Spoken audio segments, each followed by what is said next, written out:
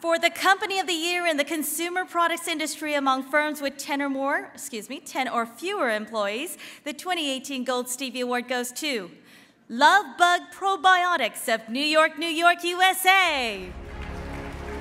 Here to accept the Gold Stevie Award is Ashley Harris, CEO. LoveBug Probiotics is a leading producer of ultra high quality probiotic supplements for infants, children, and adults. Thank you so much uh, for this award. It's an honor. I want to dedicate it to my mom uh, and all of our moms that raise incredible women uh, that are here tonight and around the world.